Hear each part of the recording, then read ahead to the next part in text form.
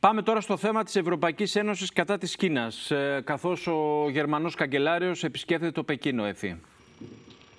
Ε, ναι, και αυτό έχει δημιουργήσει ανησυχίες, ε, Ανέστη, γιατί ο Όλαφ Σόλτς δεν θέλει να έρθει σε αντιπαράθεση με την Κίνα. Προφανώς. Γιατί καταλαβαίνουμε ότι... Μεγάλος ε, πελάτης, υπάρχουν... έτσι, για την ισχυρότερη οικονομία της Ευρωζώνης, ναι. Αυτό ακριβώς.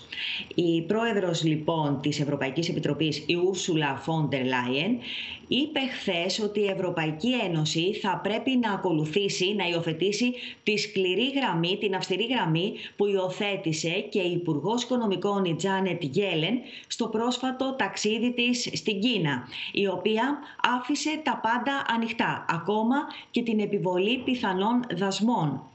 Και όπως ανέφερε η πρόεδρος Κομισιόν στην ομιλία της, είπε ότι ε, θα πρέπει οι ευρωπαϊκές επιχειρήσεις να έχουν την ίδια πρόσβαση στην αγορά της Κίνας με αυτή που έχουν και οι κινέζικες επιχειρήσεις στην ευρωπαϊκή αγορά. Ε, συντάσσεται δηλαδή πλήρως με τη γραμμή της Ουάσιγκτον.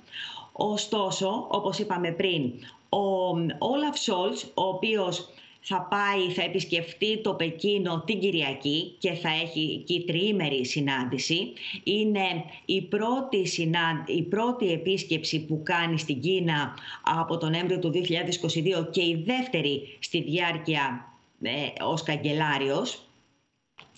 Δεν θέλει λοιπόν να, να ανεβάσει τους τόνους γιατί ήδη είναι σε εξέλιξη η έρευνα της Ευρωπαϊκής Ένωσης απέναντι στις εισαγωγές ηλεκτρικών αυτοκινήτων της Κίνας γιατί θεωρεί ότι δίνει τεράστιες επιδοτήσεις ε, στην ε, βιομηχανία αυτοκινήτου της και έτσι δημιουργεί αθέμητο ανταγωνισμό έναντι της Ευρωπαϊκής Ένωσης ε, γιατί φοβάται ότι αν προχωρήσει σε περιοριστικά μέτρα η Γερμανία θα έχει αντίπεινα αυτό από το Πεκίνο στην τεράστια αυτοκινητοβιομηχανία της που είναι και μεγαλύτερη στην Ευρωπαϊκή Ένωση.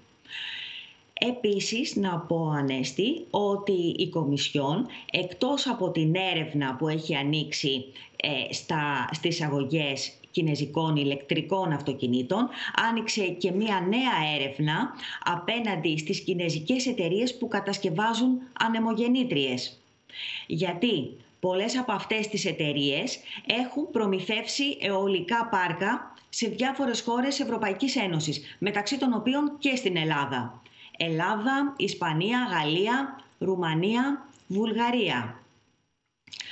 Ε, αυτό που θέλει να κοιτάξει με την έρευνα αυτή είναι οι όροι των κατασκευών, δηλαδή πάλι οι κρατικές επιδοτήσεις που είναι από πίσω, διότι πολλές από αυτές τις κινέζικες εταιρείες ε, είχαν υποβάλει υπερβολικά συμφέρουσες προσφορές σε δημόσιους διαγωνισμούς, με αποτέλεσμα να κερδίσουν τους δημόσιους διαγωνισμούς.